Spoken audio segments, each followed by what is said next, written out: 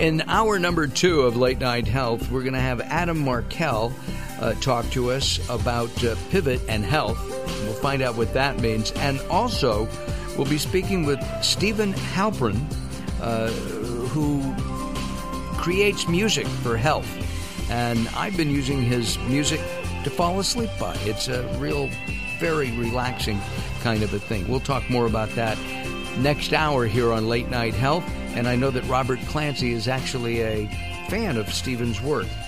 Uh, and speaking of Robert Clancy, the author of Soul Ciphers, he is on our line now. Hello, Robert. Hi, how are you? I'm yes. doing doing great. I'm looking forward to being uh, motivated, and that's our yes, topic that is today. today's topic: getting motivated.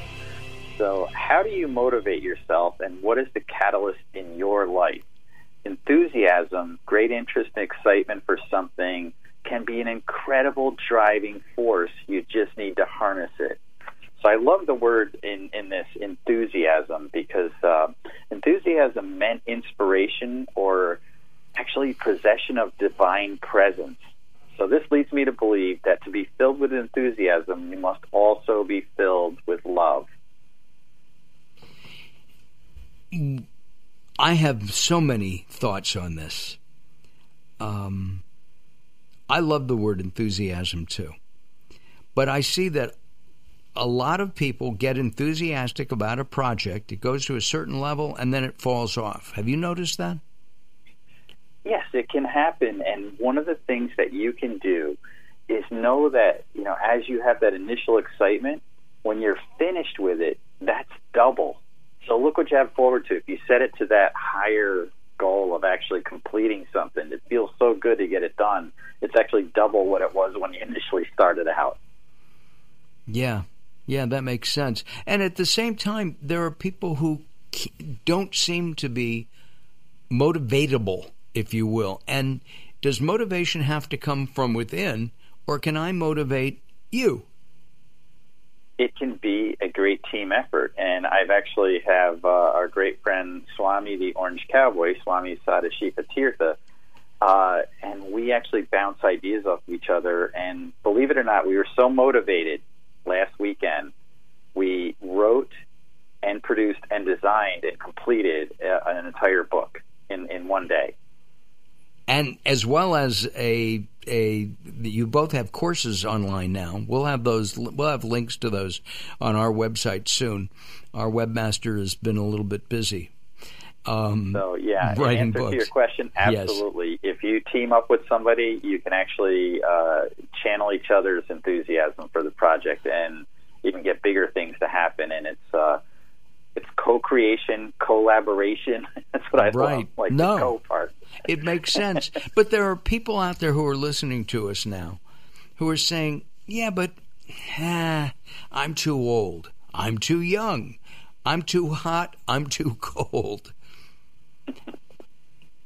What? It's never, never a bad time to get motivated about anything, and really the motivation comes from making one simple change in your life. If you make one change today, it could motivate you to greater things. Um, I look at, you know, especially this time of year when everybody's getting back into the gym and they're they're trying to lose the holiday weight.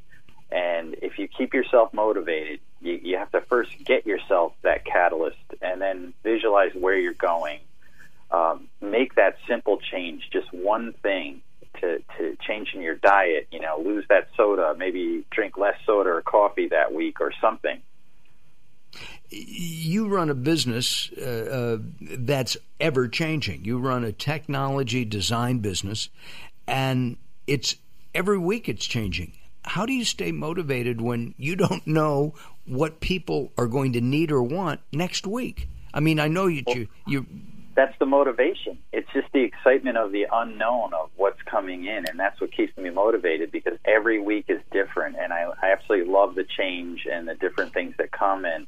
And yeah, you know, technology. When we took on web development, and believe it or not, it was 1989 when we first got online, but 1994 when we launched our first website. Think of the changes from then to now, and how exciting things are. You know, and now we absolutely. have live streaming video and everything else. Absolutely.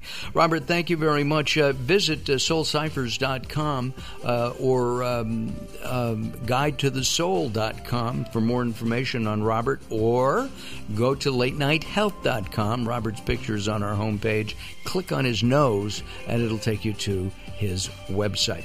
All right, uh, that wraps up hour one. If you want to hear hour two of this week's edition, go to latenighthealth.com. Latenighthealth.com. I'm Mark Alyn. I turn it over to Daryl to take it away.